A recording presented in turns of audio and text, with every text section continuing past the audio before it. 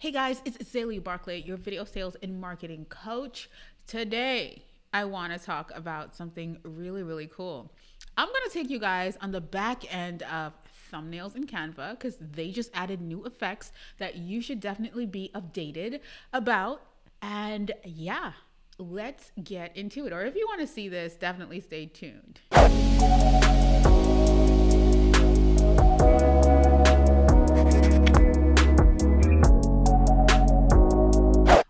So there's a way that you can make your thumbnails pop, and previously we couldn't do this in Canva. So I used to use a bit of a workaround, but now I can actually use something absolutely amazing that they released earlier this week, I believe. So let's get into it. Okay, so you can see here that I actually have an outline around this picture, but before what i would have to do is i would have to um, duplicate the picture and change the color of the one in the back and then put the layer the top one like it was just a lot but that outline on your pictures really makes your picture pop right? Now, the cool thing is that now in Canva, we are able to do that with one of their new features. And I use the glow feature for it. So I'm able to remove the background. So you guys know I have a full video on background removal in Canva. I have a full playlist with a bunch of Canva videos that you should check out if you're a business owner, you're a creator, you're somebody that is looking to create workbooks and all of that jazz. But we can now use the background remover, remove the background, and then put that beautiful outline around the picture. All right, so now that we have the background all removed, I am just gonna make sure I line it up so that choppy bottom of this photo does not show. And now I'm going to add the glow, right? So I'm gonna make sure that the picture is as big as I want it to be, although the glow changes the sizing, so be patient with it. But what I'm gonna do now is click on the picture to highlight it, and then I'm gonna click effects. When I click effects, I can then search all the way down. So you'll see smart mockups, you'll see duotone, you'll see different things. And those things never really interested me, but what got me is the shadows, right? So I never found interest in the others, but shadows definitely got me. And instead of drop or angle or curved or all the other amazing ones they have, and I will create another tutorial on how you can use the others, I can definitely see because I'm a course creator and I teach other course creators. And so because of that, oh my gosh, the visuals of computers and notebooks and things like that we can play in there all day.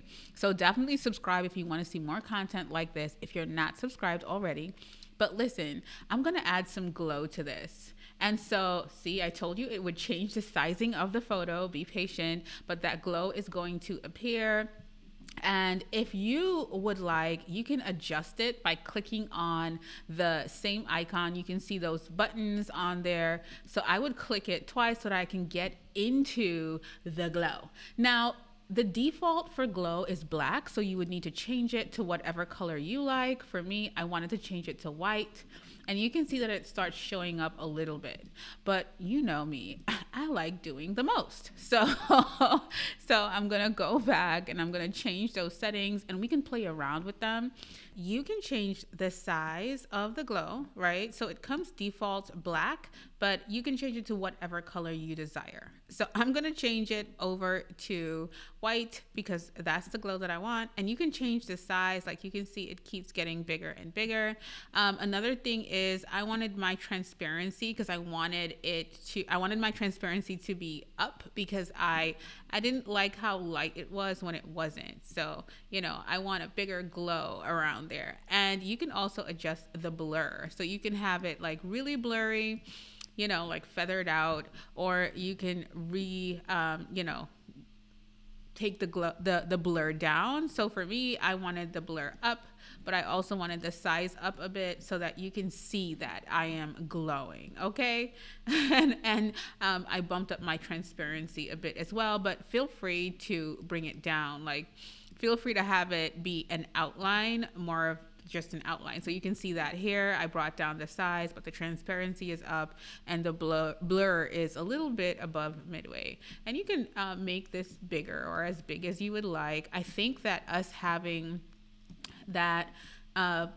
outline around a picture just makes things pop so much more.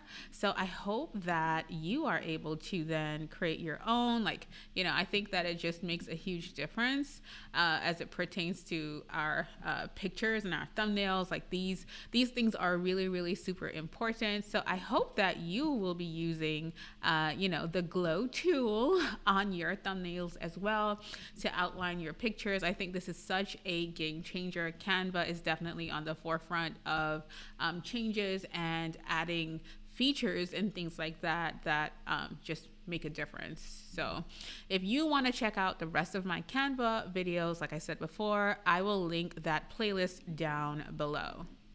Right, guys, that is how you can make your pictures pop. You definitely want to make sure that you're using the glow feature in Canva so you get that beautiful outline and it just makes your thumbnail stand out some more. You also want to make sure you're using your face on your thumbnail. I don't know if you know that, but it definitely gets people to click a bit more on uh, you know, so that they can hear what you have to say. Thumbnails are super important. So you want to take these tips and implement them. If you're not subscribed just yet, I would love if you subscribe to us and head down below to join my exclusive Facebook group, the Start Shoot Grow Facebook group, where we really connect and communicate about using video in your online business.